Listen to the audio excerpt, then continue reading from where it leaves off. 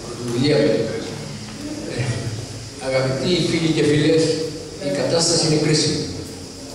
Ποτέ δεν περίμενε κανένας ότι θα έρχονταν αυτά τα χρόνια και αυτές οι στιγμές που ζούμε τώρα. Εδώ και λίγα χρόνια, αν θυμόσαστε, υπήρχε μια εφορία, μια υπερανάπτυξη των πάντων, η οποία είχε οδηγήσει μερικούς ότι έχει φτάσει στο τέλος της ιστορίας και η κατάσταση είναι αυτή και θα παγιωθεί. Διασέστε. Ζούμε σήμερα τη μεγαλύτερη οικονομική κρίση των τελευταίων 40 με 50 χρόνων. Και αυτό που έχει ξεκινήσει σαν κρίση, ακόμα δεν το είδαμε σε όλο το βάθος. Έχουμε πολύ δρόμο. Έχουμε να δούμε πολλά πράγματα ακόμα. Η καπιταλιστική κρίση που ξεκίνησε από το χρηματοπιστωτικό ε, κίνημα, από τις τράπεζες, εξαπλώθηκε σύντομα στην πραγματική οικονομία, δημιουργώντας εκατομμύρια ανέργων σε όλη την Ελλάδα, στην Αμερική και σε όλο τον κόσμο.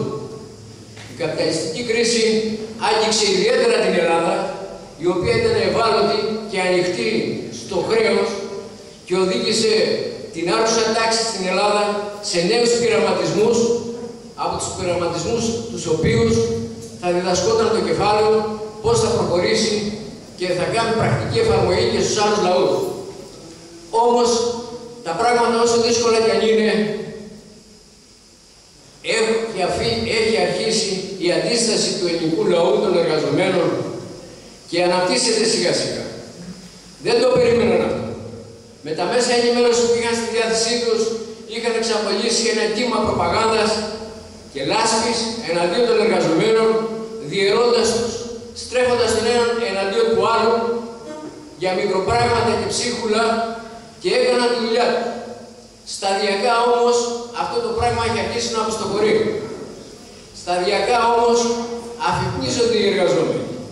Παρότι ζούμε στο μαύρο σκοτάδι σήμερα, τα δείγματα δεν είναι τόσο ε, δύσκολα, τόσο μαύρα, δεν φαίνονται τα πράγματα όπως μας τα παρουσιάζουν. Η αντίσταση έχει αρχίσει από θύλακες των πιο συνειδητά εργαζομένων, των πιο αγωνιστών και σταδιακά αυτοί οι θύλακες δείχνουν με το παράδειγμά τους ποιος είναι ο δρόμος. Ο δρόμος δεν είναι άλλος από την ενότητα των εργαζομένων. Δεν υπάρχει άλλο όπλο. Αυτοί έχουν τα μέσα ενημέρωσης, έχουν το χρήμα, έχουν το κράτος με το μέρος τους.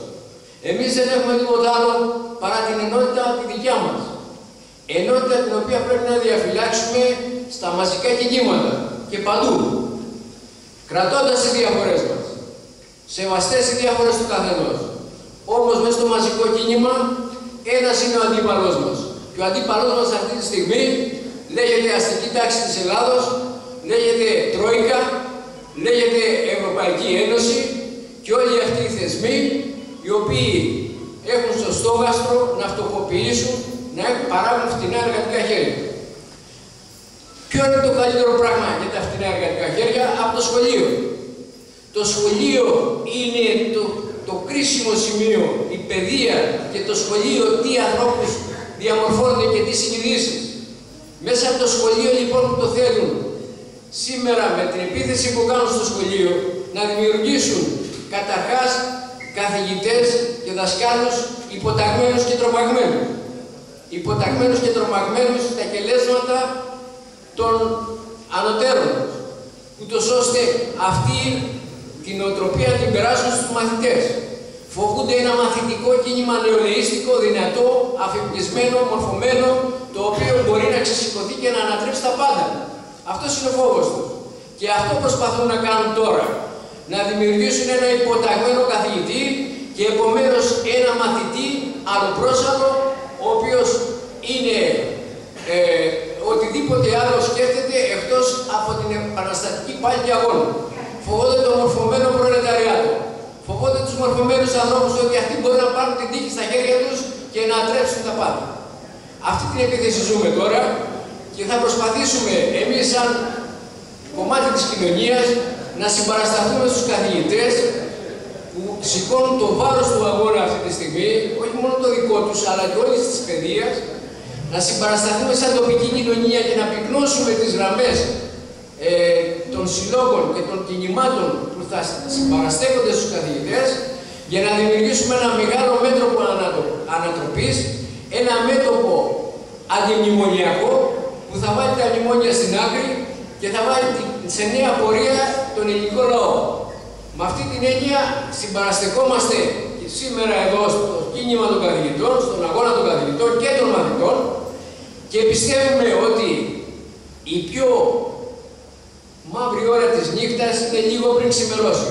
Πιστεύουμε ακράδαντα ότι θα τους ανατρέψουμε. Πιστεύουμε ακράδαντα ότι θα φέρουμε τα πάνω κάτω. Αυτοί το φοβούνται, νομίζετε ότι δεν το φοβούνται. Αλλά εμείς πρέπει αυτό το μήνυμα να το περάσουμε σε όλο τον κόσμο. Θα τους ανατρέψουμε, η ώρα είναι κοντά.